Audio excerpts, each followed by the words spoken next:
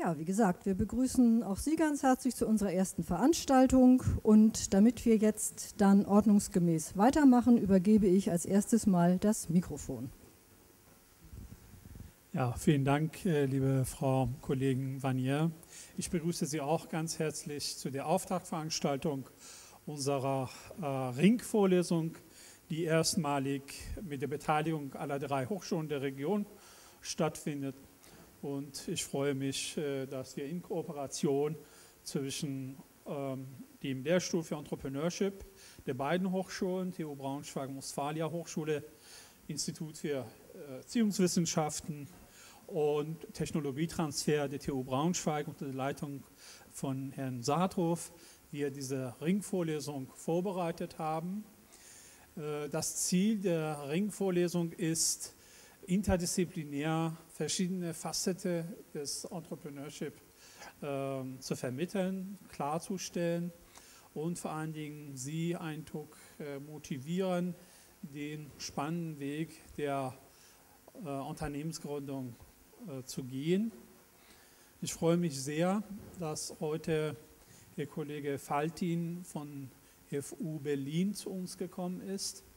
Herr Kollege Faltin hat äh, den Begriff Entrepreneurship im deutschsprachigen Raum nachhaltig geprägt. Und seine Ansätze sind ebenfalls für uns als Entrepreneurship Center, als Lehrstuhl für Entrepreneurship Orientierungsansätze. Und wir wissen, dass, das Kreativ, äh, dass die kreative Gründung äh, sehr viel mit, die, mit, den Ansätzen von äh, Kollegen Faltin zu tun hat. Und es gibt eine Vielzahl von Unternehmensgründungen, die auf äh, seine Ansätze basieren. Noch einmal äh, bin sehr, sehr froh darüber, dass Sie, lieber Faltin, zu uns gekommen sind. Und ich gebe Ihnen einfach das Wort weiter.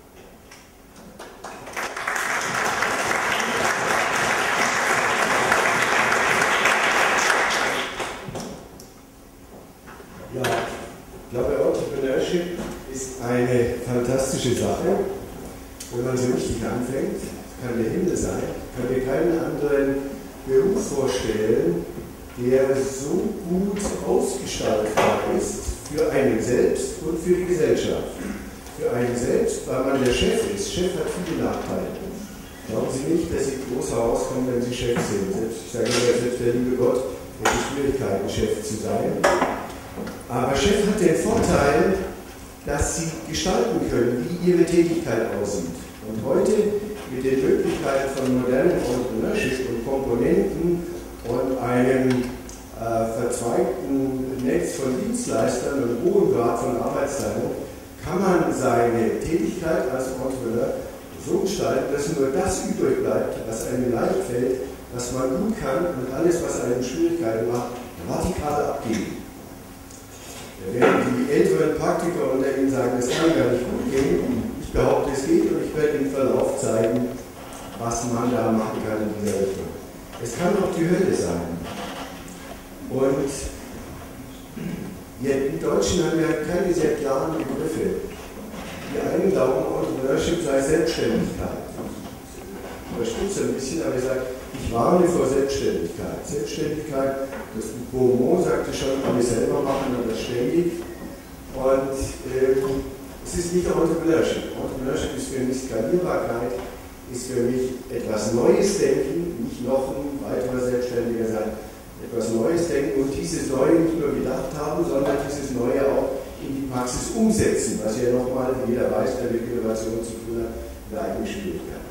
Darüber werde ich sprechen und versuchen, es Ihnen näher zu bringen, sodass Sie rausgehen und sagen, verdammt, Entrepreneurship, wenn es sowieso schon in Ihrem Kopf war, es ist eigentlich der Königsweg für eine eigene Tätigkeit, die so der eigenen Berufung, den Talenten und Wünschen entspricht.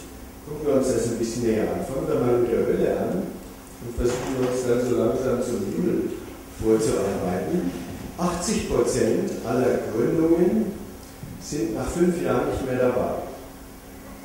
Nicht alle gehen in Konkurs, manche hören Gott sei Dank noch rechtzeitig auf vorher, aber es ist eine eigentlich sehr traurige äh, Statistik. Ich kenne keine Institution, die man weiterführen würde, wenn 80 Prozent als Ausgang der Institution sozusagen versagen.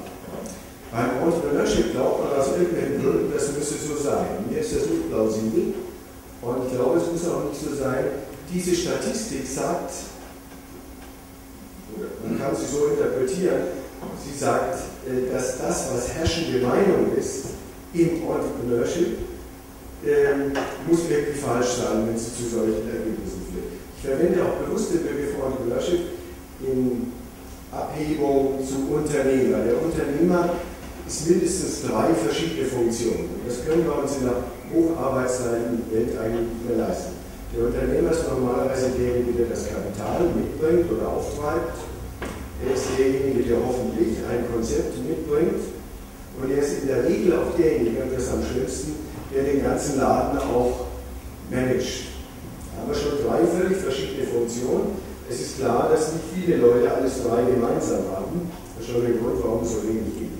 Sie wissen, selbstständige Quote so ungefähr 10 Prozent. Das, was an innovativen Unternehmern davon übrig bleibt, ist höchstens 1 Prozent. Und damit man nicht immer diese drei Funktionen durcheinander wirft, finde ich, sollte man das, den Begriff Unternehmer so vorsichtig ins Museum abgeben und sagen, Geld beschaffen ist eine Funktion, ein Konzept ausarbeiten ist eine andere Funktion und managen, einen Laden managen, Business Administration, ist nochmal eine andere Funktion. So, und Arbeitszeit. Wir sind in einer hocharbeitszeitigen Gesellschaft, das hat das Thema Unternehmertum noch nicht so richtig erreicht. Und es ist höchste Zeit, dieses Thema, das Wort Unternehmertum verwende ich nicht, das klingt zu mir nach älteren Herren, von so Mittelstandsvereinigung oder so etwas. Es gibt eigentlich nach Aufbruch von neuen Ideen und Dinge umsetzen. Also, wir müssen es nicht so machen. Ich glaube, es gibt gute Gründe und gute Verfahren, umzudrehen und zu sagen, gut, wenn 20% scheitern, ist das immer noch viel, aber es muss nicht sein. Eine ganz wichtige Sache. Wir haben in Deutschland eine Tradition, die sagt, Technologie unsere Zukunft liegt im Hightech, in der Technologie. Das scheint nach vorne gerichtet, es ist aber in Wirklichkeit in die Vergangenheit gerichtet. Es ist richtig, dass Deutschland eine große Vergangenheit hat und in vielen Technologiebereichen bis so vielleicht in die 60er, 70er Jahre früher war. Kohlebergbau, Stahlbau, Werften, Elektroindustrie, chemische Industrie, Automobilbau, äh, kann eine ganze Menge nennen die in einer Zeit, wo Industrialisierung sich im Wesentlichen in Mitteleuropa, USA und vielleicht noch ein bisschen in Japan abspielte, war das so eher konkurrenzlos und man konnte glauben, dass man auf Dauer damit äh, durchkommt. Ich glaube, das heute überhaupt nicht mehr der Fall, wenn Sie in Asien sind, Universitäten sind da ich sehr viel besser ausgestattet. Die Familien unterstützen das Studium in einer ganz anderen Weise, auch in einer gewissen Weise, also auf Erfolg des Studiums hin Sie haben natürlich hochrangige Universitäten, nicht nur in den USA und bei uns, sondern auch in vielen anderen Städten auf der ganzen Welt. Technologie ist nicht mehr allein unser Bereich. Und beim Entrepreneurship kommen wir schon gar nicht so sehr auf Technologie drauf an. Das scheint widersprüchlich, aber es ist so. Sie können eine hervorragende Technologie haben. Sie können den Nobelpreis dafür bekommen haben. Sie können damit in Ihrer Disziplin eine herausragende Leistung erzielen haben. Ob Sie damit am Markt erfolgreich sind, ist eine radikal andere Frage. Hat nichts miteinander zu tun.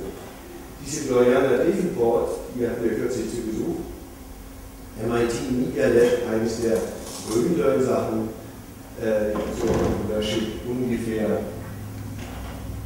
25 Jahre alt, also viel Erfahrung dahinter. Und MIT ja wahrscheinlich die ingenieurwissenschaftliche Einrichtung, die den besten Ruf hat auf der ganzen Welt. Sie sagt, wir haben Fehler gemacht. Wir waren immer Technologie besessen. Wir glaubten, wir haben die beste Technologie. Wahrscheinlich hatten wir sie auch. Technologisch waren wir hervorragend. Aber auch am MIT, sagt sie, 80% sind gescheitert. Und von den übrigen 20% sind wiederum etwa 20%, die wirklich äh, dann bekannt und groß wurde. Und der Rest macht so irgendwie, aber nicht übermäßig erfolgreich. Also auch da relativ schlechtes Ergebnis an so einer Institution wie MIT. Also der entscheidende Punkt für Erfolg im Entrepreneurship ist der Markt, ist der Erfolg im Markt und nicht die Brillanz der Technologie. Das sage ich deswegen, weil Deutschland bekannt ist für Overengineering und für Brillanz und, und äh, also überreife äh, Konzepte, die vor allem technisch brillieren, aber weniger von den Nutzern her gedacht sind. Also selbst am MIT diese schlechte Statistik. Das heißt, wir müssen auf den Markt achten. Ich komme immer mehr zur Überzeugung, dass das unternehmerische Konzept das Ausschlaggebende ist. Der Buchische im Kopf schlägt Kapital. Guten Konzepten läuft das Kapital heute hinterher. Wenn wir jemanden haben in unserem Umfeld, der was Gutes erarbeitet hat oder der zu uns kommt, haben wir eine Telefonkonferenz von einer halben Stunde und dann sagen wir, er hilft beim Online-Marketing, er macht die Business Administration, dann haben wir noch zwei, Punkte und so beteiligen wir uns. Kapital ist überhaupt nicht der Engpass, eher noch diese Funktion, die wir dann einbringen. Und es gibt inzwischen eine Menge Gründer, die mit Erfolg gegründet haben, ein Stück weit ein Vermögen angehäuft haben und dann als Business Angel da zur Verfügung stehen. Ist eine viel bessere Voraussetzung, als sie zur Bank zu schicken. Wenn Sie ein besonders schräges, originelles, jedenfalls neues Konzept haben, sind Sie bei Banken, die naturgemäß mehr vorsichtig sind und denen man vorgeworfen hat, zu wenig vorsichtig gewesen zu sein in dieser Finanzkrise und davor. Das sind eigentlich relativ schlechte Partner. Und die Fördermittel darf man auch nicht überschätzen. Fördermittel sind schön und gut, die kann man mitnehmen aber sie entscheiden nicht über den Erfolg ihres Unternehmens. Ob sie da 5 oder 10 oder auch 20.000 Euro bekommen haben, der Finanzierung entscheidet nicht über den Erfolg, sondern über den Erfolg entscheidet das Konzept und die Markttauglichkeit dieses Konzeptes. Und deswegen kommt es darauf an, sich damit zu beschäftigen. Ich nenne das Entrepreneurial Design. Das war Geschäftsmodell des merkwürdig. Erstmal sind gute Konzepte immer mehr als nur Geschäfte. Da steckt immer mehr drin, als nur Geschäft zu machen. Wenn Sie Business nur um des Business willen machen, ist es auch im Sinne von Business ein schlechtes Business oder ein enges oder unvollkommenes Business. Es muss schon ein bisschen mehr mit den Werten der Gesellschaft zu tun haben, mit den Dingen, die im Markt eine Rolle spielen, die die Menschen bewegen. Damit muss das zu tun haben. Dann ist es gut. Deswegen der Begriff Design. Design hat in der Tradition immer eine Nähe zum Markt, zum Nutzer. Eine Gabel entwerfen, dann überlegt, wie der Nutzer sie verwendet. Ich habe häufig äh, in der Sprechstunde Leute, die sagen, eine großartige Idee, äh,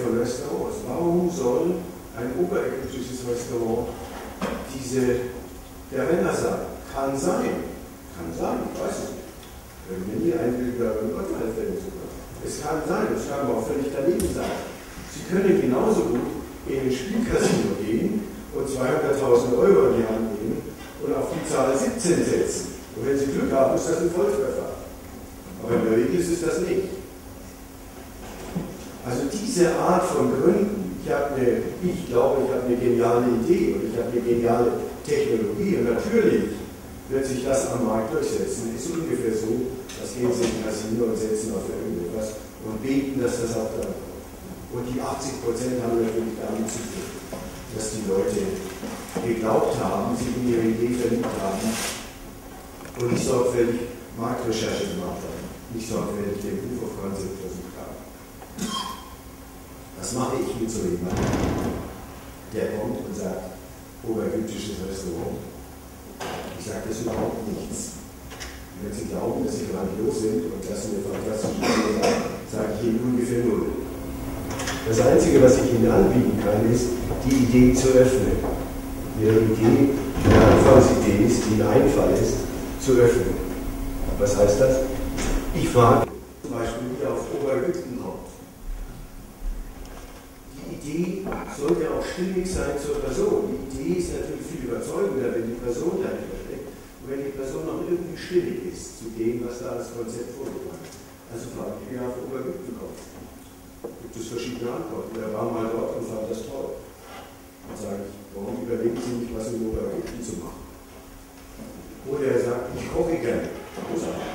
Warum machen Sie nicht was, wo Sie kochen? Müssen Sie dafür ein oberägyptisches Restaurant gründen und diese Risiken eingehen? Und er sagt, ich bin gerne mit Menschen zusammen. Großartig. Das ist ein bisschen mehr. Aber ist ein Restaurant gut, wenn ich mit Menschen zusammen sein will? Ist es nicht so, dass ich da eher Ärger kriege und die Beschwerden und dann soll der andere kontrollieren und der Chef und meine Angestellten? Und ich sage, Sichtachsen anlegen. Sichtachsen angeht. Also zum Beispiel das Thema Ägypten. Was beschäftigt ihn an Ägypten? Ist es die Ausgrabung von Luxor? Ist es das Klima? Ist es die Art der Menschen? Mentalität der Menschen? Ist es so? Also je mehr ich erfahre über diesen scheinbar Gründer oder ganz am Anfang stehenden Gründer, desto eher kann ich Sparingspartner sein, sagen, wenn Sie wenn Sie die ägyptische Geschichte fasziniert, machen Sie noch etwas über ägyptische Geschichte. Arbeiten Sie mit dem Museum zusammen, machen Sie einen Film, machen Sie da Ausgrabungen mit oder beschreiben Sie Ausgrabungen oder es gibt ja viele Möglichkeiten. Also gucken, was war denn die Energie, was war denn das, was den Gründer sozusagen bewegt hat, in so eine Richtung zu kommen. War ein Kochen mit den Menschen also Sichtachsen anlegen und, und was hat den denn so beschäftigt? Und Analogien suchen, wenn es um Geschichte geht. Was kann ich mit Geschichte machen? Was sind da Möglichkeiten? Vieles ist ein offenes Ohr. Kann viele Wege gehen und aus Geschichte, die mich interessiert, etwas machen. Ich sage immer, die Modeleute schaffen es, die Marketingleute schaffen es, aus einer Handtasche, aus einem Stück Kunststoff gedruckt, ein Objekt der Begierde zu machen. Aus Null bisschen Kunststoff oder Baumwolle bedruckt. Und andere Lehrer schaffen es aus einer Stückgeschichte Alexander den Großen, einen Lernstoff zu machen, wo die Kinder wegschlafen und irgendwie gucken, dass sie sich abnehmen. Also da würde ich mal gerne diese Leute, die es schaffen, aus einem Stück Kunststoff etwas zu machen, Geschichte lehren lassen und die anderen mal gucken, dass ich sie mal in so eine Situation bringe, wo sie aus nichts, und Entrepreneurship heißt aus nichts etwas machen Idee öffnen, ganz wichtiger Punkt. Und ich glaube, ich habe ein geniales Konzept, sondern ich habe meistens eine Anfangsidee, ich habe den Anfang. Und aus diesem Ding, aus dieser Anfangsgeschichte, muss ich über Idea Development, Idea Refinement überhaupt erst ein unternehmerisches Konzept machen. Prüfen Sie Ihre eigenen Sachen, ob das nicht Einfälle sind, ob das nicht Anfangsideen sind. Und gerade wenn Sie sie für genial halten, ist die Gefahr groß, dass Sie sich in den Einfall verlieben. Und eine Idee, ein gutes Design ist noch mehr, es muss zur Person stimmig sein. Authentizität, ich sage später was. Und es sollte auch zur Gesellschaft passen. Sie können mitten werden der Gesellschaft operieren und gegen sie. Und ich sage Ihnen, es ist besser, mitten werden zu gehen und nicht gegen die werden. Und zumindest in Berlin hat der FU, der eine lange so marxistische Geschichte hat, gibt es dann immer Leute, die sagen, ja, aber es setzen sich doch nur die Rücksichtslosen durch. Die erfolgreichen Unternehmer, das sind doch so gerade Betrüger, aber so die Rücksichtslosen. Ich hatte eine Studentin, die sagte, ist schon überzeugend, was Sie da sagen. Stimmt ja eigentlich. Aber dann werde ich ja auch so ein Schwein. Sag ich, bitte, wieso werden Sie denn ein Schwein? Naja, dann werden wir auch so ein Schwein. Das ist, so, ist doch klar. Ich sage, was ist denn klar? Naja, ist doch klar, dass ein Unternehmer nur dann erfolgreich ist, wenn er rücksichtslos ist, ein Stück weit hemmungsloser ist wie die anderen und ein Stück weit skrupelloser ist. Das die erfolgreichen Unternehmer. Da habe ich darüber nachgedacht, kenne ich irgendein großes Unternehmen, was durch Rücksichtslosigkeit und Skrupellosigkeit erfolgreich geworden ist? Gut, Rockefeller, lesen 1908, wie der die äh, da in Kalifornien, Standard Oil, das war schon, da hat man dann die Antitrust-Gesetzgebung da umgesetzt und den Rockefeller auch etwas an die Bürger genommen. Ist es so, dass man durch Tricks und durch, äh, äh, ja, durch Betrug äh, erfolgreich werden kann? Für mich war das Beispiel Pferdehandel, das war ja berühmt, die Osttäuscher, das ist ein bestandener Begriff. Also zum Beispiel, wenn man ein Pferd kurz vor dem Verkauf mit Holzwolle füttert, dann sieht das sehr gut aus. Das kriegt, äh, kriegt eine gute Statur und für ein paar Stunden geht es dem Pferd richtig gut. Wenn ich Ihnen also so ein Pferd verkaufe und Sie merken später natürlich, dass Sie damit wollen, was passiert? Sie werden sagen, von dem Falti nie mehr ein Pferd. Und sie werden ihren Bekannten sagen, ich warne euch, wenn da einer kommt und er sieht so ähnlich aus, seid ganz vorsichtig und besser kauft nicht. Ihr habt eine gute Chance, betrogen zu werden. Was heißt das? Ich habe einmal ein Pferd mit hohem Gewinn verkauft. Das stimmt, ich habe den Gewinn eingesagt. Habe das Pferd über Wert verkauft. Ich muss jetzt aber, um ein zweites Pferd zu verkaufen, weit weggehen, möglichst, dass der Ruf, den ich da erworben habe, nicht bis dorthin drehen, was schon im Zeitalter des Internet eher schwierig ist.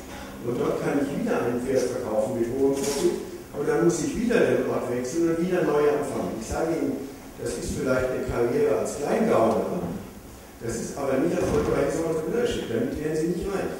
Jedenfalls im Regelfall haben Sie damit überhaupt keine Chance, reich zu werden, sondern Sie haben relativ umständliche Art. Die viel bessere Art ist, Kunden zu haben, die sagen, bei Falti müsst ihr kaufen.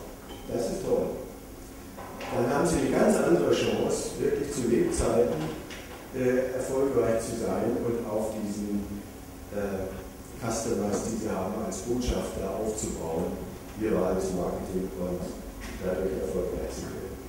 Also ich glaube nicht, dass es Rücksichtslosigkeit ist, dass es Skrupellosigkeit ist. Das ist im Zeitalter von Warenvergleich, ähm, Zeitalter von Internetvergleichsplattformen noch viel schwieriger als früher.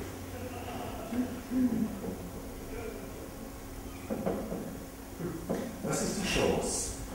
Ich behaupte, Sie können das Gewinnlos einer Lotterie systematisch, betont auf systematisch, erarbeiten.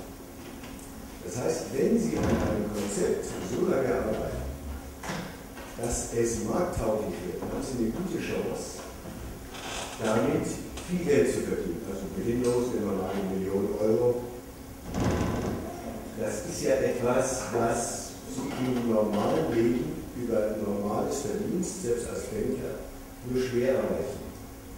Kleine Geschichte dazu. Ich hatte einen Studenten in der Sprechstunde und der redet über irgendwas und dann sagt er, ja, Unternehmen, Unternehmer, ich habe die Bin ich das? Und ich habe schon wieder verkauft sagt, oh, das ist aber eine spannende Geschichte, erzähl dir mal. Und er erzählt, er war in Italien und auf irgendeinem Bauernhof und die Gäste fanden, dass das Olivenöl über gut sei und kauften da von den Bauern Olivenöl ab, die nicht besonders teuer ist. Erzeuger gegen massiv viel Geld für gesagt. Und dann nahm er auch Panik und hat die seinen Familienleuten und Bekannten und Freunden angeboten, sondern gutes Olivenöl besser als, besser als was wir da kaufen im Laden. Und dann hat er angefangen, danach zu bestellen und ein bisschen was gemacht. Nicht viel. Nur sagen, das haben sie verkauft. Ja, was wird verkauft? An denen Hengelmann. Oh, was haben sie denn dafür gekriegt? 30.000 Euro. Für fast nichts. Warum? Unternehmenswert. Der Unternehmenswert wächst sehr viel schneller als die ersten Gewinne. Er hat den Kundenstamm, die überzeugt sind und Tengelmann hat diesen Kundenstamm gekauft und bezahlt auch Geld dafür. Ist nicht so aus der Reihe. Also lange bevor Sie große Gewinne machen, sehen Sie ja im Internet für den Aufnehmer, lange bevor Sie große Gewinne machen, entsteht ein Unternehmenswert. Und wenn Sie nicht zu den 80% gehören, gescheitert, sondern zu den wenigen, die da erfolgreich sind, dann haben Sie auch relativ rasch einen hohen Unternehmenswert.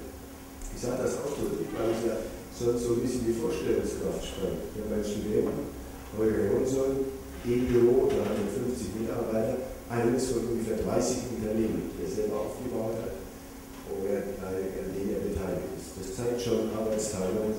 Sie können nicht 30 Unternehmen leiten. Sie landen in der Klapsmühle. Schon nach dem fünften oder sechsten, die meisten schon nach dem ersten.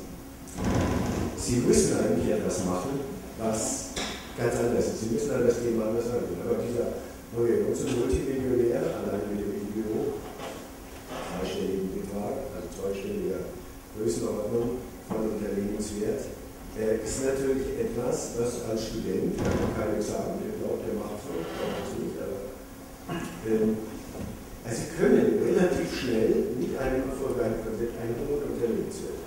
Und das hat Sie auch angesprochen, ist ja auch klar. Das Gewinnlos aneinander ist systematisch arbeiten.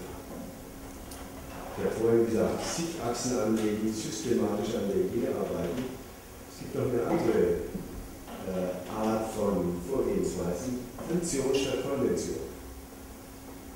Sagen wir der Kritik einmal, der ersten Firma nicht gehört, schreibt man nicht nutzen. Funktion statt Konvention, das ist ein gutes, gutes Mittel. Vorhanden ist neu kombinieren. Der Fehler, den viele machen, ist, dass sie glauben, sie müssen was völlig Neues tun. Das ist schwer. Und da kommen so Dinge raus, da kaufen sie dann mit eingebautem Handy oder so Also versuchen Sie nicht was völlig Neues zu finden, sondern nehmen Sie etwas Bekanntes, ich habe Tee genommen, zu viel langweilig. Tee. Und machen Sie daraus was. Mehrfach nutzen. Wir haben ja eine Gesellschaft, die so arbeitsteilig ist, dass jeder seine eigene Räume hat. Der Rechtsanwalt hat seine eigene Räume, das Theater hat seine eigene Kirche, das Restaurant eigene Räume, jeder hat eigene Räume und nutzt die in bestimmten Tag. Und meistens nutzt er sie äh, ein paar Stunden am Tag, und manchmal auch nur am Wochenende oder Sportstätten. Mehrfach nutzen. Dinge, die Natur macht nur Mehrfachnutzung. Sie finden keine einzige äh, Funktion in der Natur, die sozusagen ihren eigenen Baustein hat, sondern der Grashalm, zum Beispiel, mindestens sechs Funktionen. Also ein bisschen aus der Natur abgehen. Also ein einfaches Beispiel, Bettenhaus. Wenn ich ein Bettenhaus hätte, dann würde ich es als allererstes natürlich auch nachts anbieten als Hotel. Und sagen, entweder schlafen Sie mal Brot auf der Matratze, die Sie da wollen, oder äh, ich habe doppelte Einnahmen, weil ich das Ding doppelt nutze. Die Betten sind ja schon da und das neue Betttuch oder so der Überzug, das kann ja nicht so teuer sein. Also intelligente Mehrfachnutzung. Wir können uns diesen Stieg von Ökonomie, den wir jetzt haben, sowieso nicht mehr lange leisten. Da können Sie schon mal von ausgehen, so Zentralheizung können Sie vergessen. Ich sage immer, Zentralheizung wird etwas sein, was in spätestens zehn Jahren einfach nicht mehr bezahlbar ist. Wir müssen uns darauf einrichten, dass es Irrsinn ist, ökologisch einen Raum, die Raumluft zu heizen, wenn es eigentlich nur geht, dass wir warm machen. Und dann wissen wir außerdem noch, dass die warme Luft da oben unter der Decke hängt. Und wir versuchen die warme Luft zu ist einfach eine ökologische Verschwendung, das sich nicht mehr bezahlen lässt. Auch eine gute Methode ist, ein Problem zu nehmen und es umzudrehen und daraus was zu machen. Ein einfaches Beispiel ist, wenn es anfängt zu regnen, ärgern sich die meisten Leute, ein Entrepreneur würde in dem Moment versuchen, preiswerte Regenschirme zu haben und sich vielleicht einen Ausgang eines Kaufhauses ausstellen und diese Regenschirme verkaufen Moment, wo sie brauchen. Also Thermal Programming und Technologie. Das wäre jetzt alles ein Thema sozusagen für einen Workshop, aber ich weiß es einfach mal. Entrepreneurial Design ist mehr als eine Technologie. Das ist eine ganze Menge. Wenn Sie an den Markt denken, muss eine Menge zusammenkommen. Und es ist auch nicht mit einem Einfall oder ein bisschen über Ideen nachdenken dann Geld versuchen, einen zusammengetan. Es ist ein Stück Gesamtkunstwerk, dieses Menschen, das, na, also denken Sie mal dran, von der Anfangsidee bis zum fertigen Konzept ist ein ganz schöner Weg.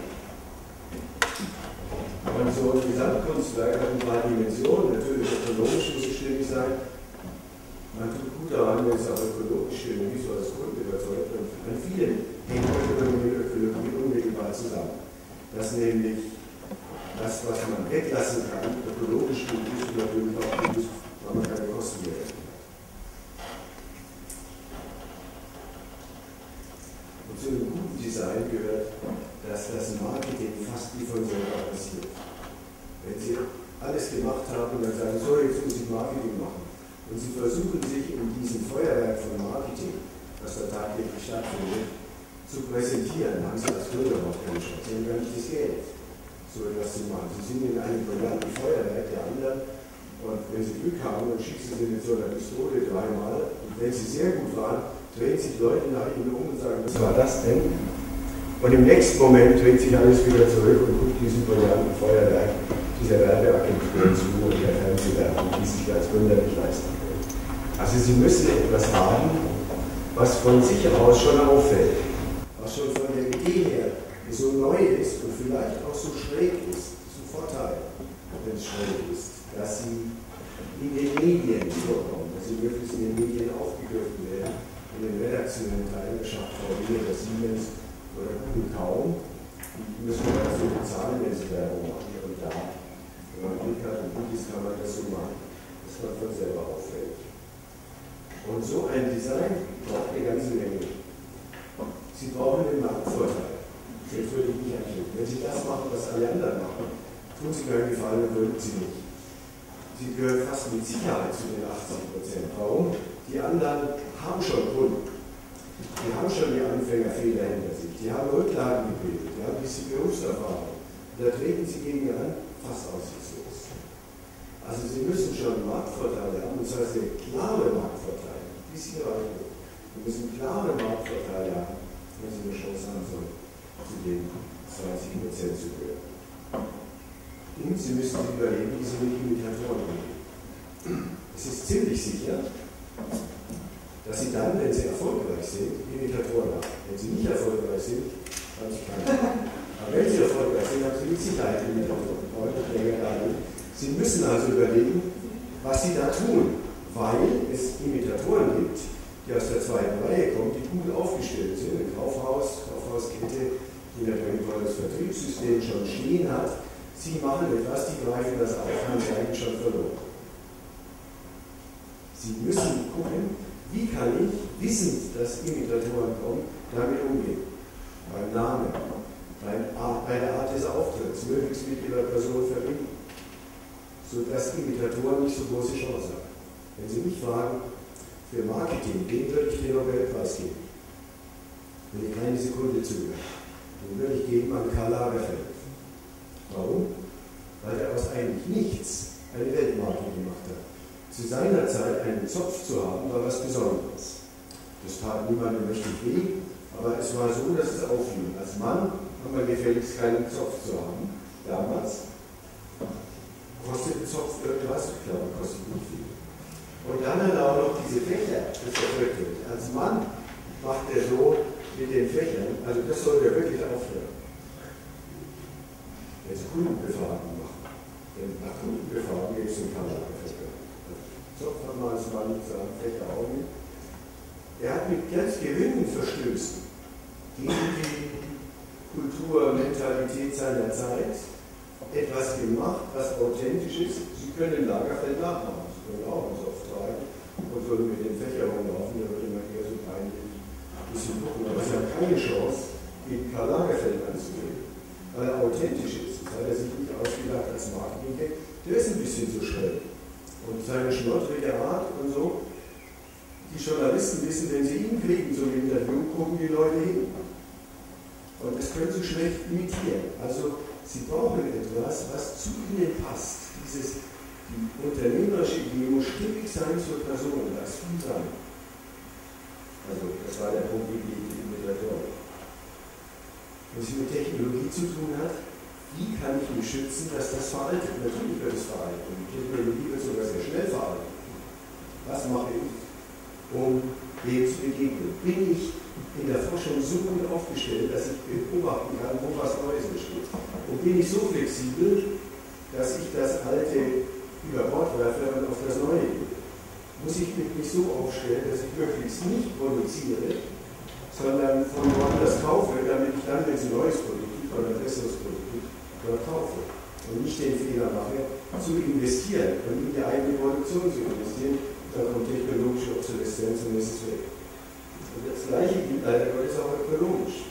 Sie können ein wunderbares Ding bauen, haben alle anderen Sachen im Griff und dann stellt das jemand in China her, zu einem Zehntel der Löhne und importiert das hier in Deutschland dann sind sie weg vom Fenster. Und auch das ist noch nicht genug. Finanzierung. Die meisten finden es toll, wenn sie viel Geld einwerfen. Ich komme immer mehr zu einer Ergebnis, dass das schlecht ist. Bessere Methode wäre, so lange zu tüfteln, bis ich weniger Finanzierungsaufwand brauche, dass ich so viel weglasse, dass ich so viel bei Komponenten herstellen lasse, dass ich selber einen geringen Finanzierungsbedarf. Erstens bin ich dann schneller, weil ich nicht so hoch herumlaufen muss und dafür Finanzierung werden muss. Zweitens bin ich weniger abhängig. Je teurer Ihre Investitionssumme ist, je höher die ist, desto mehr geraten Sie natürlich in Abhängigkeit. Nichts ist schlimmer, als als Gründer angestellt zu sein in seinem eigenen Unternehmer und die Kapitalleute haben das Sagen. Umsatzziel, Marktanteilsziel, Liquiditätsziel, Gewinnziel. Da müssen Sie strampeln, ja, wir haben es doch, alle diese Ziele zu erreichen. Ich sage immer, ist überspitzt, ist Venture-Kapital. Ich gebe Ihnen eine Million, so Raten, vorausgesetzt, dass Sie zwei Millionen verdienen. Dann gebe ich Ihnen die Million, aber das Unternehmen gehört mehrheitlich mir. Und jetzt müssen Sie strampeln, wenn Sie die Million kriegen, dann können Sie den Enkeln später erzählen, Sie waren der Gründer also ein relativ schlechtes Leben. Weil das meiste der Gründung ging an die Kapitalgeber und sie mussten wirklich hart arbeiten, um diese ganzen Ziele zu erreichen. Besser ist es, so lange zu tüfteln, dass der Kapitalaufwand ganz gering ist und sie so viel Anteil im eigenen Unternehmen haben, dass auch wenn sie was abgeben, sie nie unter den 50 Prozent fahren. Und noch was fehlt, nicht hinterher, wenn ist, sagen, jetzt muss ich Marketing machen und jetzt hole ich mir so ein Werbebüro und frage mal, wie das geht. Sondern es muss Teil ihres Designs sein. Von Anfang an muss die Überlegung sein, vom ersten Moment an, wie schaffe ich es, was muss ich machen, damit Kunden auf mich aufmerksam werden. Ich rede nicht mehr von Werbung, ich rede auch wieder von Marketing. Und ich rede von der Ökonomie der Aufmerksamkeit. Wie kriege ich mit geringen Mitteln, die meisten von uns verdienen, haben wenig Geld am Anfang zur Verfügung. Wie kriege ich mit geringen Mitteln Aufmerksamkeit? Das ist der Punkt. Das muss von Anfang an Design sein. Und für die, die wirklich gut sein wollen, äh, gelten noch ein paar andere Sachen. Skalierbarkeit. Wenn Sie alles selber machen, ist die Antwort schon klar, es ist nicht skalierbar. Wenn Sie als Selbstständiger im Wesentlichen mit Ihrer Arbeitsleistung Geld verdienen, reden Sie bitte nicht über Entrepreneurship. Sagen Sie, ich bin ein armes Schwein, ich bin ein Selbstständiger, der so nach Stundenlohn verdient. Und wenn ich sehr gut bin, kann ich vielleicht einen hohen Stundenlohn verdienen. Andere kriegen 10 oder 20 Euro, ich kriege vielleicht 40 Euro. Dann bin ich auch in die Zukunft. Das ist vielleicht ein freier Beruf. Rechtsanwalt, wer gut ist, kann er Geld verdienen. Ja. Das ist nicht Entrepreneurship. Im Wesentlichen muss er nicht arbeiten. Wenn er gut ist, hat er einen hohen Stundensatz, vielleicht 400 Euro Stundensatz. Das ist ein Entrepreneurship. Er kann es nicht verzehnfachen, er kann es nicht vertausendfachen. Jetzt zerreißt es ihn bisschen kann er abgeben an die Sekretärin, vielleicht Assistenten. Im Wesentlichen macht ihr die Arbeit selber, nicht automatisch. Skalierbarkeit. Denken Sie bei jeder Idee ist skalierbar. Einfachheit. Der Feind des Gründers ist Komplexität. Warum? Weil Fehler entstehen und sie eben neu sind und diese Fehler quasi auch von ihnen wieder angezogen werden. Weil Fehler gefährlich sind, kostet, sie in den Ruin treiben, wird es auch gleich. Also Komplexität ist etwas, was Ihnen auch das Leben schwer macht, weil alles bei Ihnen auf dem Cheftisch landet. Sie können nicht delegieren, sondern Sie müssen immer alles selber entscheiden. Sie müssen es so einfach machen, um überspitzt gesagt Halbaffen beschäftigen zu können.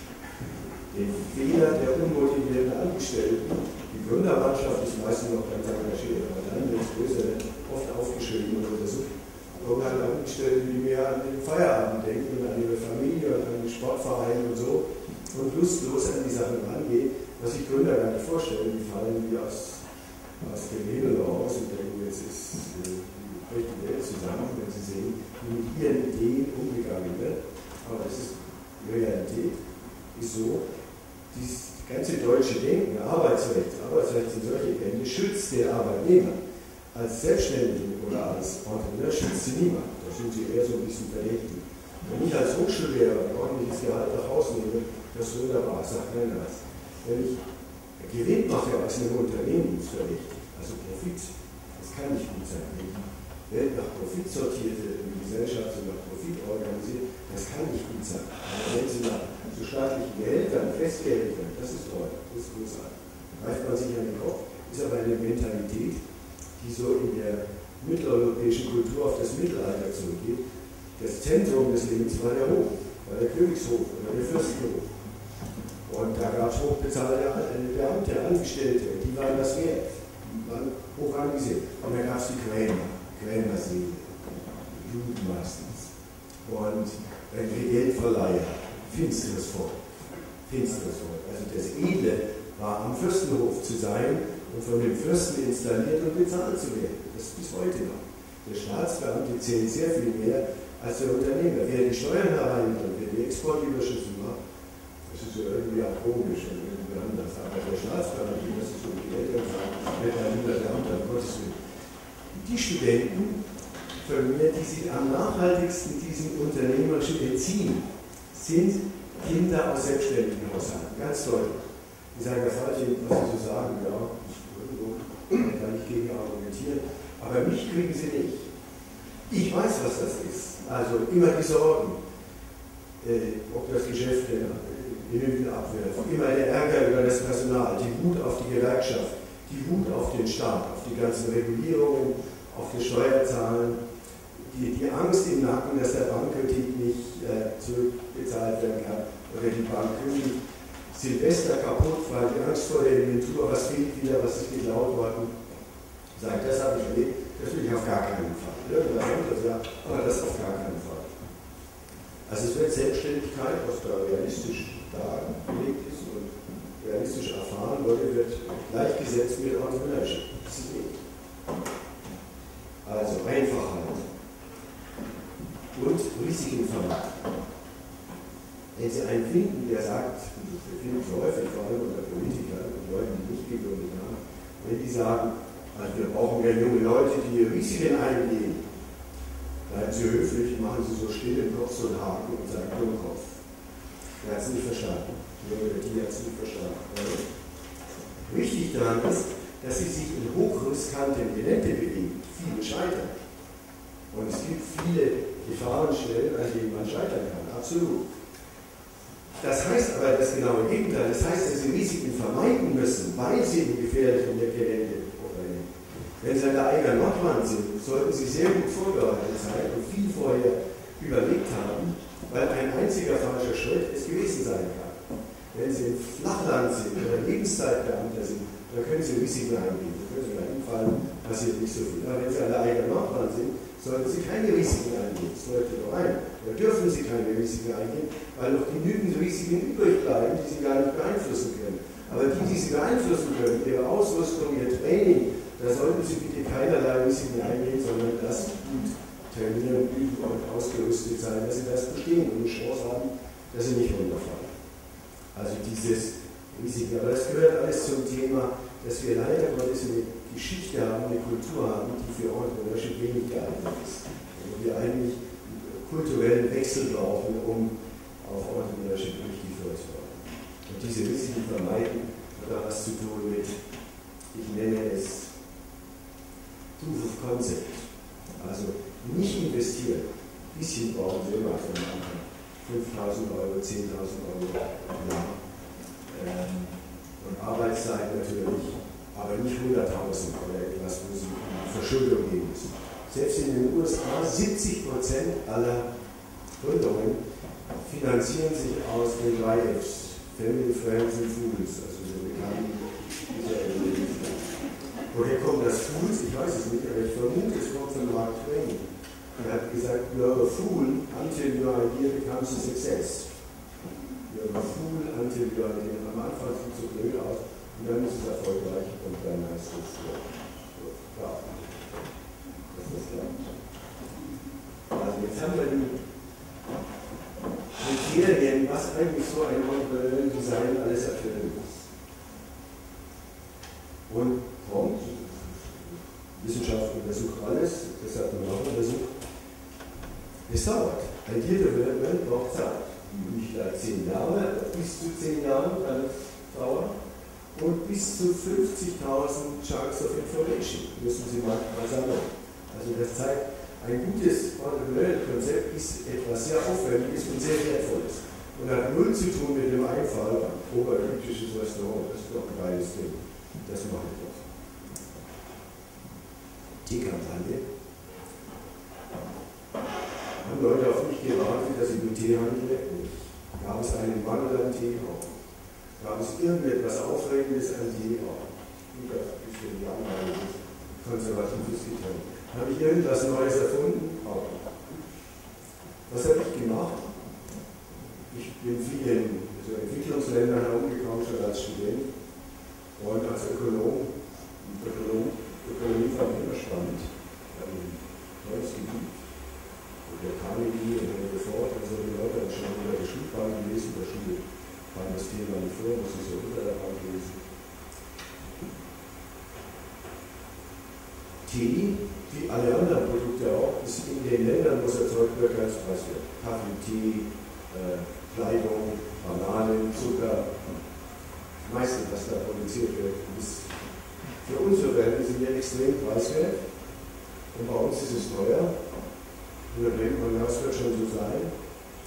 Und wenn man Ökonom ist ein bisschen neugierig sagt man, ich verstehe das gar nicht. Und vor allem beim Tee ist mir das aufgefallen. Warum beim Tee? Weil Tee am Tor der Plantage ein Fertigprodukt ist. Da nichts mehr dann gemacht. Beim Kaffee müssen sie rösten und mahlen und Vakuum verpacken ist leistbar, aber immerhin müssen Sie erstmal dieses Rohprodukt weiter verleben. Bei Tee ist es fertig, es wird nichts mehr gemacht. Es ist in der Kiste drin, ungefähr 40 Kilo, Sie kennen so Teekisten, und das müssen Sie in Tüten abpacken. Kann ja nicht so schwer sein, dass man das in Tüten abpacken lässt. Bei allem anderen Mode durch nicht weiter. Bananen müssen Sie im Kühlschiff haben, relativ schnell dann das verkaufen. Honig, finde ich, ist irgendwie ein Produkt, was man daraus machen kann. Das meiste dann ist Zucker und ja, die anderen Sachen, Kaffee, wie gesagt, ist man abhängig. So kam ich auf die. Das mal so als äh, Gedanke, ist interessant. Ich habe ein Fertigprodukt und das verteuert sich von der Plantage zum Kunden ungefähr um den Faktor 10. Denken Sie sich merken. Woran liegt das? Der erste Gedanke ist so diese Pfeffersäcke, diese Kaufleute die scheinen sich schamlos zu bereichern. dann gucken Sie so in die Bilanzen, Teekanne, tut sich nicht viel. Messmer war zwischendurch mal fast pleite, wurde dann zum Verkauf angeboten. Äh, Tee denn in so blendend? Auch nicht. Jahrelang. Ja, wo, wo steckt das denn? Also offenbar nicht in den Gewinnen des Teehandels. Wenn Sie jetzt eine Weile ordentlich recherchieren, dann finden Sie heraus, es liegt einer ganz merkwürdigen Geschichte. Es liegt an einer Konvention. Und die Konvention heißt, Tee wird in Teeläden verkauft und ein guter Teeladen ist einer, der eine große Auswahl hat, der ein breites Sortiment hat. Und wenn Sie ein breites Sortiment haben, und Teeladen hat schnell 150, 200 Sorten, das sind die aromatisierten, noch gar nicht richtig mitgerechnet und die Kräutertees und was das alles gibt. Wenn Sie so ein großes Sortiment haben, wie kaufen Sie ein? Auf der Plantage lachen lieber. Wenn Sie 200 Sorten haben und Sie haben 20 Kilo von jeder Sorte, das ist schon viel. Haben Sie schon ein ziemlich großes Lager. Sie können gar nicht an der Plantage einkaufen, weil Sie Mengen haben, die zu klein sind. Der Teehändler kauft beim Großhändler seine 5 bis 20 Kilo. Der Großhändler kauft beim Importeur, das war so Planeten, ungefähr 180 Kilo. Und der Importeur kauft beim Exporteur. Containerweise, ungefähr 8 Tonnen in einem Container. Wo kriegt der Exporteur den Tee her? Und von der Plantage, sondern von der Teeauktion. Oder von Kommissionären, die zwischen der Plantage und Kalkutta dann da hin und her handeln. Und dann wird klar, aha, der Teehändler, Einzelhändler tut 30, 40 Prozent, der Großhändler hat eine Marge von 5 bis 10 Prozent, der Importeur nochmal, der Exporteur. Also da kommt schon mal viel zusammen. Also, wenn ich bei der Konvention bleibe und sage, ich verkaufe einen Tee und ein Tee, der muss ein breites Sortiment haben, dann kann ich nur das machen, was alle anderen machen. Und dann mache ich es für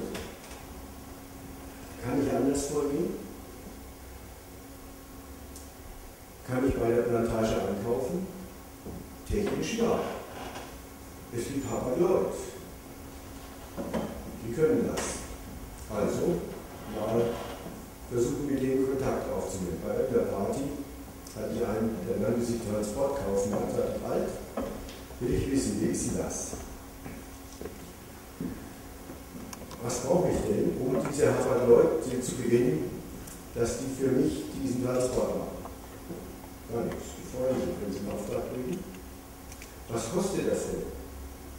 Kostet ein halbes Prozent vom Warenwert. Aber nicht viel.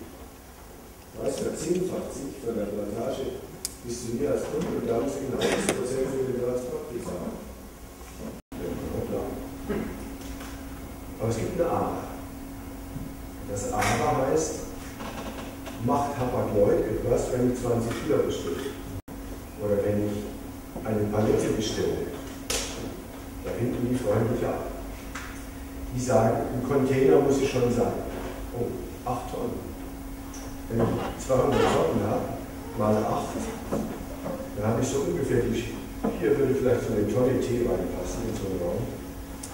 Also 200 Sorten mal 8 Tonnen. Dann ist so ziemlich die komplette Hamburger Speicherstadt als Lager und vorne habe ich einen kleinen Teeladen brauchen Sie nicht BWL studieren, merken Sie sofort, das kann irgendwie in sich rechnen.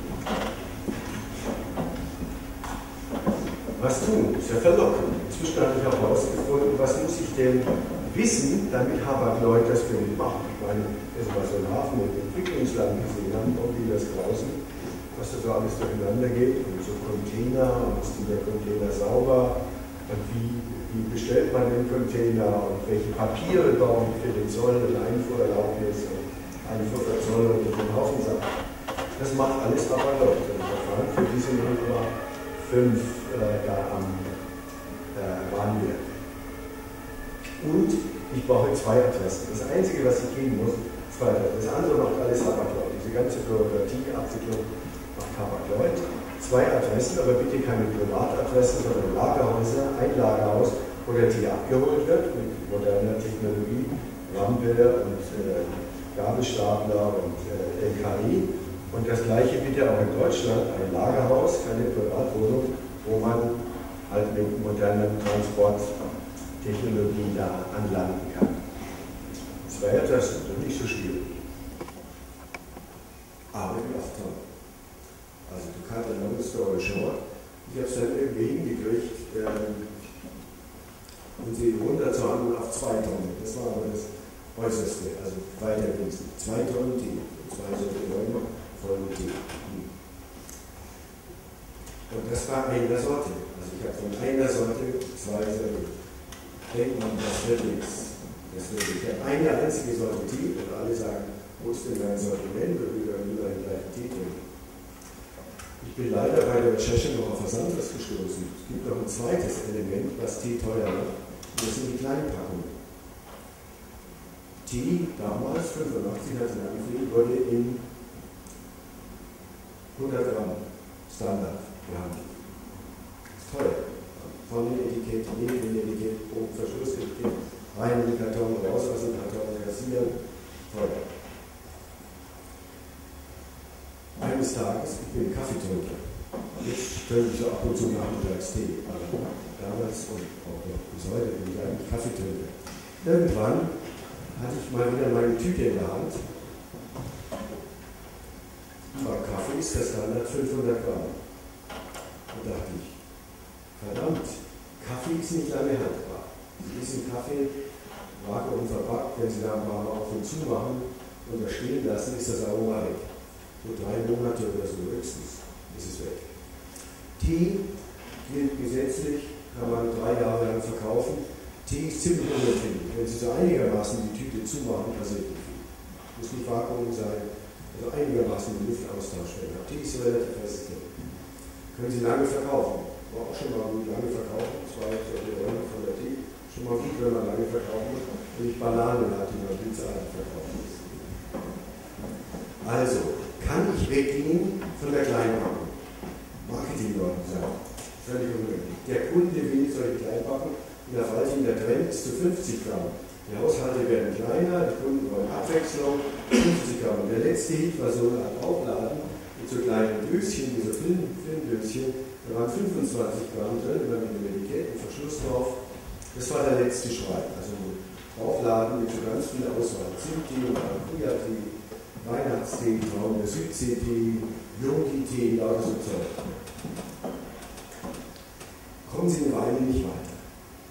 Jetzt kommt jemand, der von Tee nichts versteht, wenn er ehrlich ist, und sagt, ich bin Hochschullehrer, mit deutschen Hochschullehrer geht er auch bestimmt wieder voraus an Praxislehre. Und ich habe mir überlegt, dass es doch ökonomisch sinnvoll wäre, Tee in Großpackungen zu machen. Und außerdem habe ich nur eine Sorte und von denen, wie gesagt, verstehe ich.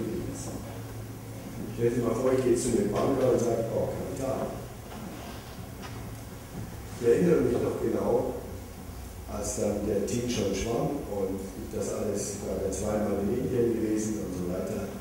Und äh, habe ich den Studenten am Anfang des Semesters gesagt, ihr könnt jetzt teilnehmen, wie so ein Unternehmen hier anfängt. Teekampagne. Großpackung, eine Sorte Tee in Großpackung, ein Kilogramm Packung. Stand eine Studentin auf, so halb zu den paar Leuten, hatte wenig Leute Sonst war meine Veranstaltung davor, aber der war ganz wenig. Und war so halb zu den Studenten gemütet und halb zu mir und sagte, Leute, merkt ihr nicht, wie bescheuert der Typ ist? Eine Sorte Tee und die Großpackung. Allerdings, allerdings konnten wir den Tee anbieten zu einem Drittel des Preises. Irgendwann kam mir eine Sorte Tee, ist natürlich unmöglich, ich brauche aber am Teepreis nicht zu sparen. Der Teepreis spielt ja gar keine Rolle. Das ist ein Zehntel dessen, was es sonst im Laden kostet. Ob ich da ein bisschen mehr oder weniger bezahle, spielt gar keine Rolle. Ich brauche am Teepreis nicht zu sparen. Ich kann einen guten Tee kaufen. Ich kann sogar einen sehr guten Tee kaufen. Irgendwann mal die Frage, was ist denn eigentlich der beste Tee der Welt? Wusste ich nicht. In der Bibliothek laufen und so geholt. Und in den stand übereinstimmend, es gibt ein Gebiet auf der Welt, es liegt besonders hoch und es liegt besonders steil, nämlich an den Ausläufern des Himalaya. Da hat es eine intensive Sonneneinstrahlung, es hat kalte Luft und es hat eine Winterpause. Das haben andere Gebiete nicht. Die liegen flacher, niedriger.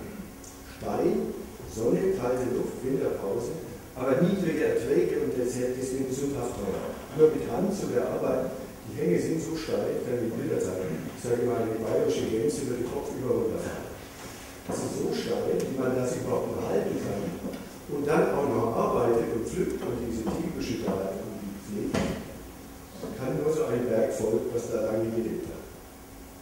Ein einzigartiges, ein einzigartiges Teearoma. Man hat natürlich die Büsche genommen, ins Flachland gesetzt, wo sie dann ganz andere Wörter kriegen. Die Büsche, die dahin auch runterfallen im Blattland, aber das Aroma ist weg das Aroma ist weg. Es kommt viel Blatt, Themen preiswerter, aber das Darjeeling-Aroma ist weg. Es kommt nur da unten. Mit diesem geringen Erntewerk, deswegen teuer. Und irgendwann, das dauert, das ist nicht so, dass ich loslaufen oder auch so ganz klar, ich muss halt den besten Weg der Welt nehmen und den losmachen. Das dauert. Gerade weil es so schräg ist. Also habe eine einzige T-Shirt, aber dafür eine extrem gute. Nicht nur Darjeeling, sondern den First Flash nach der Winterpause und den in finest tippy golden flowered orange, flowered, flowered orange because of it. Ich immer noch nicht überlegen. Also sie haben eine Blattsortierung, eine Blattqualität, die besonders ist. FDG FDG1. Also sie haben einen Spitzentee, der auch entsprechend teuer ist, aber der im Laden natürlich noch sehr viel teurer ist. Und wir waren so pauschal, aber damals das frühere Tierhaus, Wir waren genau ein Drittel so teuer, haben wir absichtlich gemacht. War schade, kostete 250 Gramm, das war dann so die Einsteigepackung. Das meiste war ein Kilo, aber dann so ein bisschen vorsichtig die Einsteigepackung, damit man vergleichen konnte. Bei Pauschale war das die größte Packung, bei uns die kleinste, 250 und 1 Kilo. Pauschale 27 Mark, Teekampagne 9 Mark. Das ist ein Argument. Wie sind wir bekannt geworden? weil ein paar Leute das gekauft haben, sagen sie, Wahnsinn, da Agility zu einem Spottpreis, kann eigentlich gar nicht sein, aber so. Irgendwann kriegt man zum ersten Mal eine richtig große Bestellung in Bremen in einer Berufsschule, dran Philité, Lehrer Philité. Und die haben immer bei Paul Schrader gekauft. Da kam einer aus Berlin, sagte, da gibt es eine komische Truppe und die verkaufen den Kiki immer bei Paul Schrader stellen sich Preis vor. Haben die anderen gekauft. Die haben keine Ahnung. Und der hat dann nicht locker gelassen. Und dann haben sie gesagt, okay, also wenn man das nicht klären kann, jetzt machen wir eine Blindverkostung. Haben sie eine Blindverkostung gemacht. Ergebnis war ungefähr ein Drittel von dem Tee von Paul Schrader besser.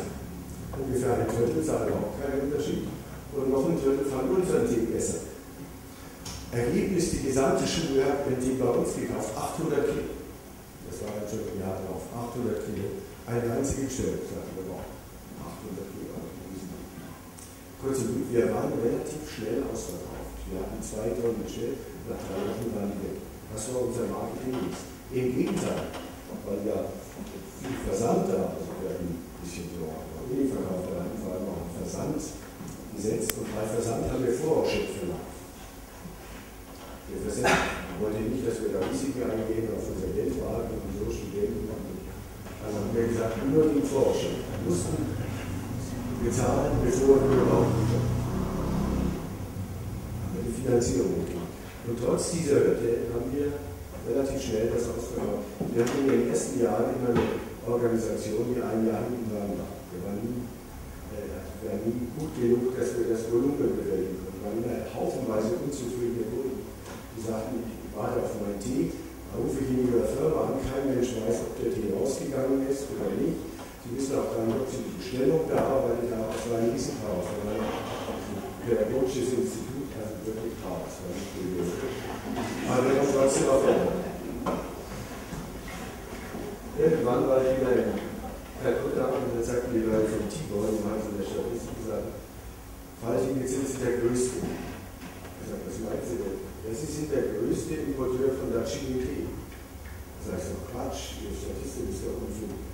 Liptons, Brook Bond, Twinings, ganz große Firmen dafür. Manche Tee kamen viel größer als wir. Ihre Statistik ist okay. Mit ihren 400 Tonnen sind Sie der größte einzelne Darjeeling-Importeur auf der Welt. Erinnern Sie sich an das Zitat mit Henry Ford am Anfang? Da kommt so eine Laienspielschar, mich als Oberlaienspieler äh, mit zugerechnet, so eine Laienspielschar, die nimmt sich Tee vor, studiert das, oder ich habe das studiert und sagt also nur eine Sorte Tee, völlig quer zur Konvention, und hier auch nur in Großpackungen. Und ungefähr zehn Jahre später sind sie der größte Importeur auf der Welt. Weltmarktführer, also ganz klein wie die. Aber immerhin die Top-Provinz auf der Welt, die wir wissen, die haben. Wofür die nur mögen. Also, was ist die Lehre daraus? Und ich kann eine Reihe von anderen Geschichten erzählen, die so ähnlich sind. Äh, systematisch vorgehen, Funktion statt Konvention. Alle denken in, Fun in Konvention. Und Sie müssen in Funktion denken. Und ich sage, die sind also gehandelt, weil es alles macht. Das finde ich nachträglich einen guten Sport. Denken Sie an den Mark Twain. You're a fool until your idea becomes a success. Also, erst wie bescheuert ist der Typ, kaum was ein Erfolg hieß es, also Herr Professor, an die solche Themen großpacken, ist doch gar nichts. Ist dafür sind Sie Professor, das ist sowas, ja. Also, Im nächsten Moment heißt es, so erst, also das muss man aushalten, dass man solche Einschätzung bringt. Denken Sie an die Gebrüder Albrecht, zu einer Zeit in Deutschland, wo das Nachkriegselend und äh, dieses Buchhafte allmählich überwunden wurde. Ich weiß noch, was ging, da kamen die Glasvitrinen und die Geschäfte wurden schöner, die Auslagen, natürlich über Zauber und nicht mehr so fruchtgutenhaft. Und in dieser Situation, völlig gegen den Markttrend, gab es auf einmal ein Geschäft, da damals ist sie mit und das war das genaue Gegenteil. Da schlug man so Paletten an, schon damals. Und es war Preiswerk. Und ein paar Jahrzehnte später sind die Gebrüder Alter zusammengekommen, vorübergehend mal vor Facebook, waren sie die zureichste Familie auf diesem Erdball. Mit einem Konzept, das jedes Kind versteht. Nicht mal leidet, ach so, ja, weil einfach die Kartons hin und jeder muss sich selber nehmen und sie verzichten radikal auf, auf die Ladeneinrichtung. Also, oder nehmen Sie den äh, Duckweiler in der Schweiz mit seinem Lastwagen, oder nehmen Sie Ingvar Kamprad äh, mit äh, Ikea, der war kein Möbelexperte. Und er hat auch nicht das gemacht, was alle anderen machen. Stellen Sie mal vor, Sie kommen und sagen, also ich habe überlegt, am besten Sie nehmen die Möbel auseinandergenommen nach Haus und bauen sie zu Hause zusammen. So eine tolle Idee. Glauben Sie, was der für eine Reaktion ist von den Möbelexperten? Denken Sie, da ein Möbeltischler ist ein drei Jahre Ausbildungsberuf in Deutschland. Sie sind nur drei Jahre. Und dann kommt einer und sagt, das ist was er zusammen. Ja, wie geht das? Weil er Möbel neu gemacht hat, weil er die Möbel einfach gemacht hat und preiswert. Und die Möbel so einfach gemacht hat, dass auch jemand, der überhaupt kein technisches Verständnis hat, das Ding zusammenbauen kann. Und selbst wenn er drei Schrauben weglässt, hält das irgendwie immer noch. Das ist sehr einfach und robust gemacht. also es sind oft die ganz einfachen Ideen. Und am Anfang sagt die Später früher gemacht. Dann war eine Weile Ruhe, dann wurde deutlich, dass wir hoch erfolgreich sind, dann gab es Krieg, dann gab es einen Haufen äh, Verfahren, der, der, Chef des Seehändlerverbandes sagte, bei dem Preis kann es sich nur um Stroh handeln. Das war mir ein guter Spruch, der hat uns geholfen. Also dann sehen Sie die Seehändler glauben, es ist Stroh, wir zeigen wo es herkommt. Also, die, die, wenn Sie Gegner haben, die ein bisschen arrogant sind und äh, so, dann tun sie sich sogar leicht. Das ist so eine Art Aikido. Also sie nutzen die Energie der Gegner und äh, spielen das zurück. Im Grunde genommen kann man sagen, es ist Updating Industry, um so mal Computerterminologie dafür zu nehmen. Sie nehmen sich ein Gebiet vor und sagen, kann man das nicht moderner, intelligenter, ökologischer, schöner, vernünftiger, kostengünstiger machen sagt man, ja, uns fällt nichts ein. Sagt, nehmen Sie irgendwas, nehmen Sie irgendwas. Nehmen Sie Shampoo, lesen Sie mal hin, was im Shampoo drin ist. Das ist meistens ein Ding gleich am Anfang, das heißt Sulfatlaureat. Ich weiß kein Mensch, was das ist. Dann sage ich, gehen Sie ins Internet und gucken Sie, was das ist. Das ist ein Reinigungsmittel für schwer verschmutzte Industrieböden. Ein sehr scharfes Reinigungsmittel. Wenn man das entsprechend verdünnt, kann man das auf die Kopfhaut tun. Wenn Sie im Internet weiterlesen, steht, das ist ein sehr gefährliches Reinigungsmittel. Und wenn Sie damit arbeiten, sollten Sie Schutzkleidung anlegen. Also wenn Sie das nächste Mal in die Badewanne gehen und die Haare waschen, legen Sie bitte Schutzkleidung an. Im Prinzip ein sehr preiswertes, aber sehr gefährliches Mittel. Wenn Sie Shampoo ein bisschen besser machen wollen, mit so einem Industriereiniger, dann kostet das bestimmt nur wenige Cent mehr. Würde mal vermuten, das ist fast null, was das mehr kostet wenn Sie etwas weniger billiges, äh, scharfes Mittel nehmen. Also man kann viele Dinge verbessern. Man muss nur ranknien und ein bisschen sich in diese Sachen vertiefen. Das sind so eine Reihe von Firmen. In meinem Umfeld sind nochmal im Büro dieser Holger Jonsson sagt, ich muss doch zu einem Büro, warum muss ich einen eigenen Raum haben? Warum muss jedes Büro einen eigenen Raum haben?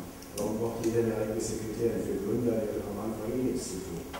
Warum muss jeder den Gewerbemietvertrag abschließen, weil meistens Fehler macht, weil er denkt, sein Wohnungsmietvertrag ist so ähnlich wie ein Gewerbemietvertrag. Das überhaupt nicht. Das ist völlig anderes. Und dann die Ausstattung. Jeder seine eigene Ausstattung. Fach und gedacht, warum geht war keine Kunden lassen. Kann ich das nicht anders machen? Halt nicht eine Mischung aus Callcenter und intelligenter Software.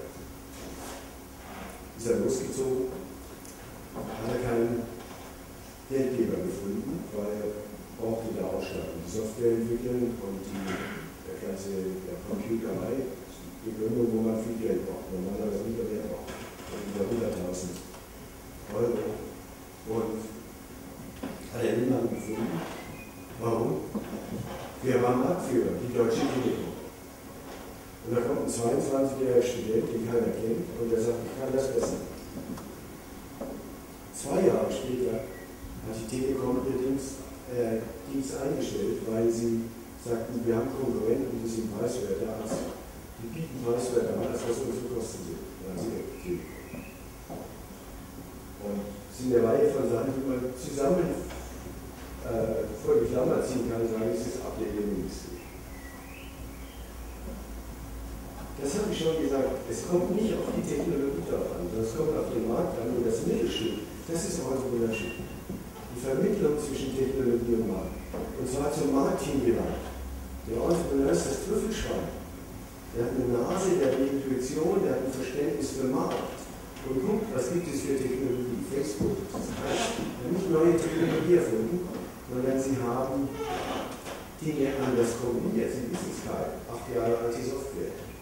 Sie haben Bedienung freundlicher gemacht. Sie hatten Erfahrung im Transport großer Datenmengen aus diesem Kasar. Also sie haben einfach neu kombiniert. Sie nicht Erfinder. Schumpeter sagt, Erfinder ist eine Sache, Innovateur, Entrepreneur eine ganz. Wer macht denn das Management? Die herrschende Meinung bis vor kurzem jedenfalls. Ideen gibt es viele, aber auf die Umsetzung kommt es Und das ist BWL gehen Sie nicht in diese BWL rein, wenn Sie nicht BWLer sind. Das sind alles Überschriften. Das erste waren so Generalüberschriften und das hier sind so Teilüberschriften. Alles wichtige Sachen. Denken Sie an allein als deutsche Arbeitsrecht. Wenn Sie keine Leidenschaft. Ich könnte beliebig fortsetzen. Bis es irgendwie schwarz ist. Das sind alles Überschriften. Die herrschende Lehre, da müssen wir alles können als Unternehmer zwischen können. Sie müssen doch eher laden Es gibt eben viele Gebiete, muss man sich leider mal über Ideen hinzu, Execution, Umsetzung, das ist wichtig, halte ich für völlig falsch. Das halte ich für mit einem Grund, warum 80% scheitern. Also in den Überlastungsfalle geht, in den Überforderungsfalle. Nicht, weil sie nicht intelligent genug sind, sondern weil es zu viel ist. Sie sind überfordert von der schieren Menge und der Auslegung der Vorschriften, der höchstrichterlichen Entscheidung und nationales Recht und EU-Recht und so also kann man es nicht machen. Arbeitszeit. Arbeitszeit einführen in unsere Menschen. Ich sage Ihnen zum Schluss noch was. Sie können den Entrepreneur im Gegensatz zum Manager heute mehr als Künstler verstehen, als Komponisten. Und führe ich vor, das ist der Mozart. Und das eine Beispiel, Horatio Grimm. Der Mozart heißt hier Raphael Kugel, war mein Assistent. Ähm, dann aufgehört mit Hochschullehrerlaufbahn und stattdessen gegründet. Die Idee haben wir uns zusammen ausgedacht. Sie Fruchtsaft trinken, dann gucken genau drauf, auf das Etikett, dann steht, das ist Fruchtsaftkonzentrat gemischt mit Wasser. Oder noch ein bisschen Aromen und Haltbarkeit und so. Zucker, meistens viel Zucker zugesetzt. Kann man das nicht auch anders machen? Das, was dieser Abfüller macht, dieser Fruchtsafthersteller, der im Grunde genommen Konzentrat mischt mit Wasser und dann noch ein bisschen was dazu tut, können Sie das nicht besser zu Hause? Können Sie nicht gleich das Konzentrat kaufen und am besten aus der Wasserleitung das Wasser dazu mischen und keinen Zucker tun, jedenfalls nicht von vornherein und keine anderen Aromen, keine Haltbarkeitsstoffe, sondern eine Packung haben, die von sich aus schon haltbar macht, weil sie keinen Sauerstoff zulässt. Ist das eine Idee, wo man sagt, kaufen Sie Konzentrat und mischen Sie den Fruchtsaft selber? Stellen wir das Konzentrat her, Gottes müssen wir viel Geld ansetzen und weiß gar nicht, wie man Konzentrat. Machen wir die Verpackung selber, natürlich. Das ist eine intelligente Verpackung. Das ist ein Plastikschlauch, der keinen Sauerstoff zulässt. Dadurch haben Sie eine natürliche Haltbarkeit bis 18 Monate. Die Verpackung nutzen die, wenn ich erfunden habe. Füllen wir selber ab, um Gottes Willen. Ich wüsste nicht, wie man keinen Fall Das wir natürlich bei einem machen, der das kann. Haben ein eigenes Büro in der von Londonos. Haben eine eigene Buchhaltung, lassen wir die Projektwerkstatt machen. Die macht das schon. Internet-Shop, also reines Internet-Versand, äh, Internet-Shop. Und hinter dem Bestellbutton ist eine Software, die wir von der Projektwerkstatt haben. Die machen das für uns und berechnen uns das, sind wir das los.